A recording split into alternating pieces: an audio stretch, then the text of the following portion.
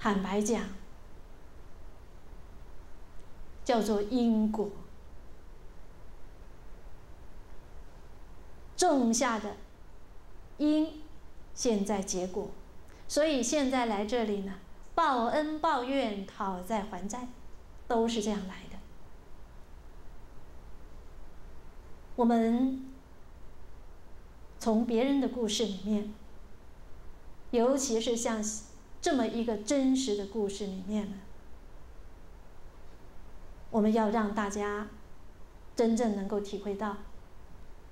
人不是只有一生，但是如果你这一生人没有做好，造作种种恶业，决定会影响到自己生生世世。恶业造的重，这一生果报就现前了。这个果报在佛法里面叫做花报，先开花后结果。所以我们看到现在很多现世报啊，那更何况来生后世追着你要，你怎么能够逃得了？那个因都是自己种下去的。佛在《楞严经》里面跟我们讲过，一切诸法唯心所现。一切因果，世界为成，因心成体。